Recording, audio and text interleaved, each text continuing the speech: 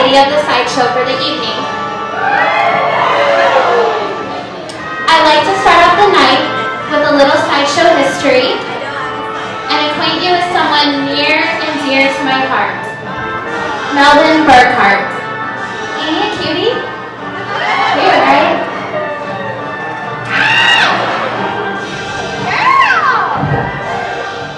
Sadly, Melvin is no longer with us.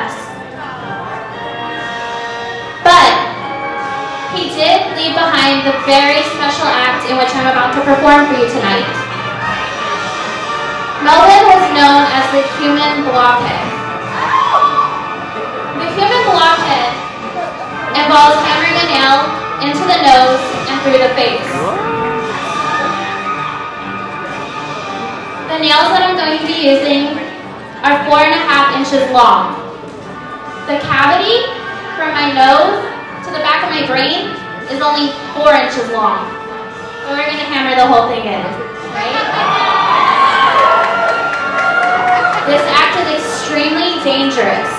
For if something goes wrong, a lobotomy is without question. Are you guys ready?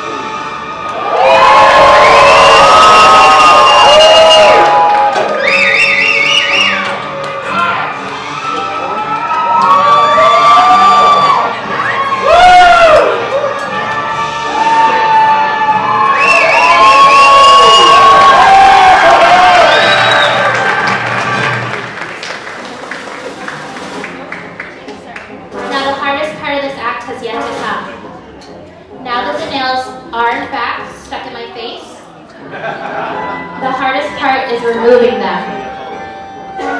Your nose is very, very sensitive.